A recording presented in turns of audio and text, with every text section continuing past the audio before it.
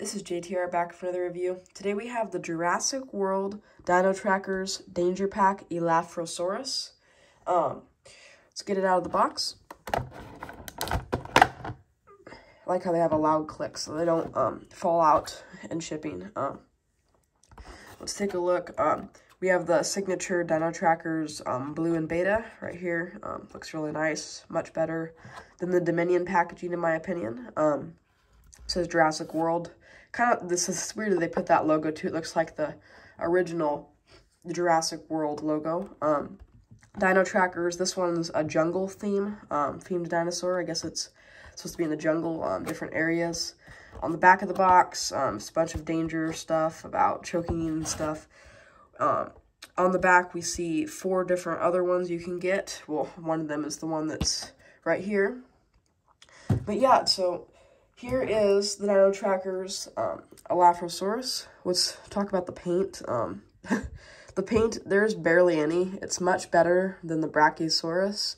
I wouldn't say as good as the Nothosaurus. Um, uh, it's okay. I mean, the blue could be a little bit darker. It's not a bright blue. It might appear that way on camera.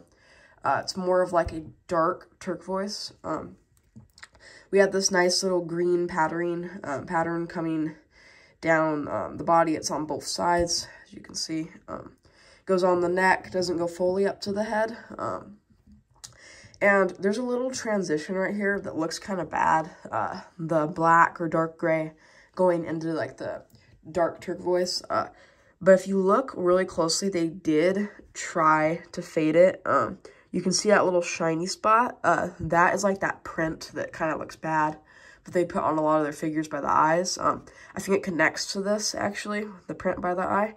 But you can see that they tried to faded that, so that is more paint on the figure, technically.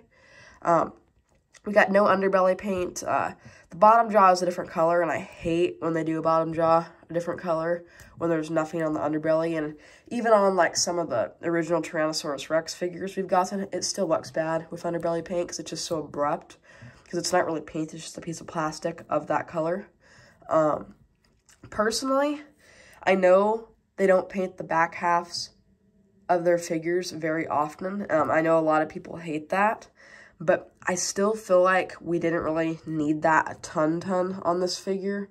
Um, but I feel like Mattel should just put the extra five cents into each figure and put this color right here on these, um, like, neck flaps, or I don't know what you want to call it. I'm not sure if it's really feathering, um, because, like, this is its own kind of signature color right here, and that would look perfect.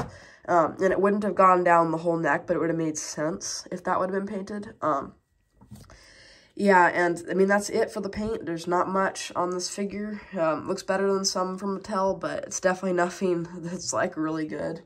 Um, let's move on to like the sculpt detail. Um, on this figure, we do see some very good sculpting detail. You can see on the leg, um, I mean, there is a ton of little scales, and it looks very, very nice.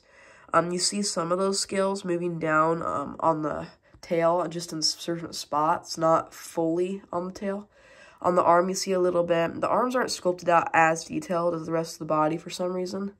Um, what's really cool is, is usually I wouldn't like this, but since this is a very detailed figure, um, they put a super light coat of green paint on there, and it kind of looks like almost it was dry brushed. almost, keyword. Uh, because you can see each little um, scale abruptly over under the paint because the paint wasn't thick enough. And I think that looks really nice. But yeah, uh, overall, just normal underbelly from Mattel, um, bottom of the feet.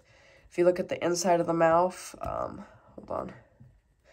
Uh, some sculpting on the roof of the mouth. Um, I feel like it actually looks extremely bad on the bottom jaw. It's just very strict and abrupt. Um, there's like no depth going into the mouth. It's just flat and it's actually poking out of the mouth somewhat.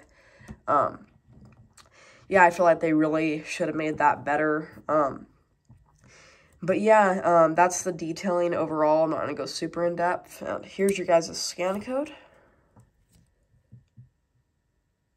There you guys go. Hopefully you can read that. Um, um, now let's move on to articulation. Uh, on this figure, we get leg articulation, uh, we get arm articulation. We don't get the second joint because this isn't the $10 assortment. This is $7.99 or it depends on your area. Some Targets are way more expensive than other stores because um, like the online stuff, it's really weird what's going on right now. Um, I did get this at Rite Aid, so I had to pay extra $3 for it. So I had to pay $10.99 for this one. But yeah, um, we do get that new neck joint that is a new thing starting with the Dominion line um, for this assortment. And it looks very nice to have that. It just makes the figure feel so much better for toy photography. This for about anything. Um, just put it on display in different poses. Rather than just the neck being stuck like that, you can have it like this. And if you want like a nice low um, hunting pose, you can have it like that. It just looks so much nicer when we get that neck joint. I mean, we have a jaw joint too, but that's basically it for the articulation. We have this little tail movement, but it really has to just stay in one spot or it looks weird because how the sculpt was planned out. But yeah, um, that's the articulation. Let's move on to the views for this figure. Um, let's see if I can get it to stand. Uh, not the best view, but view one. View two. View three. I feel like I did that wrong. view four. I may have done that wrong actually, but yeah. Um, let's do a size comparison compared to some well-known um, Jurassic World figures in Jurassic Park, mostly Jurassic Park. I guess they actually all are um, from the Hammond collection. We got the Hammond collection Tyrannosaurus Rex. Sorry if I sound really stuffed up. I'm a little bit sick right now. Um, there's the Hammond collection Triceratops. Try to get that more in the shot. And here's the Hammond collection Gallimimus. And here is the Dilophosaurus.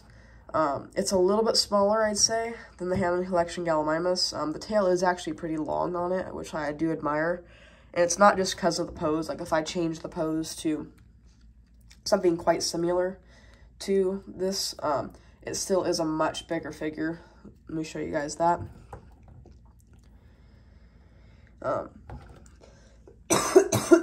right here, you can see that it's like just overall much wider, much bigger.